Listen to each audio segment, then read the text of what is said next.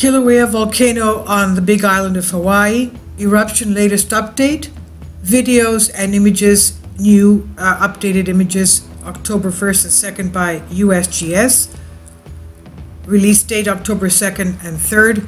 The new eruption at Kilauea Summit began approximately 3:20 p.m. on September 29, 2021.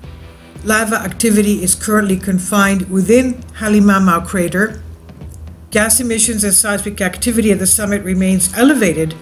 HVO Hawaii Volcano Observatory field crews equipped with specialized safety gear monitor the eruption from within the closed area of Hawaii Volcanoes National Park with National Park Service permission, of course.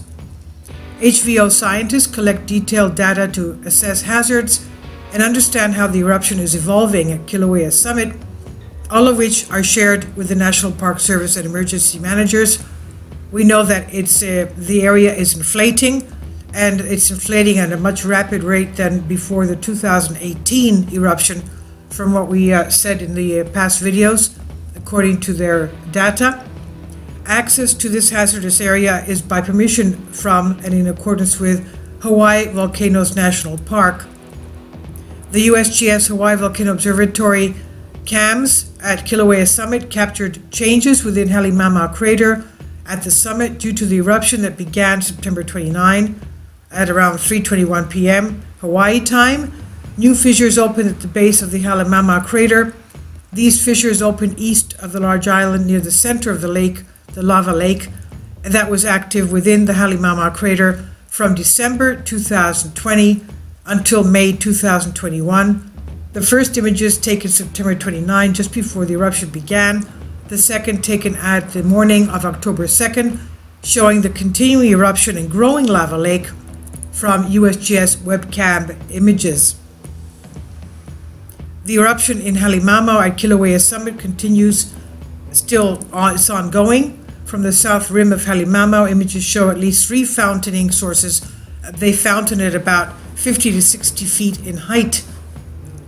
Hawaii Volcano Observatory scientists monitor the eruption, noting spatter from the fountain near the southeast edge of the island in the center of the lake is constructing a small cone on the island.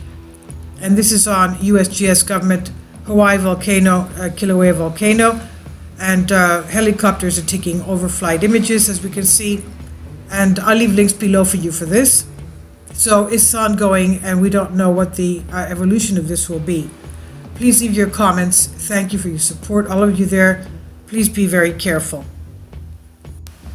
Uh, this is uh, the December January crusting of the crater lake. As you can see, it's of course emerging, rising. It's filling, the lake is filling with lava.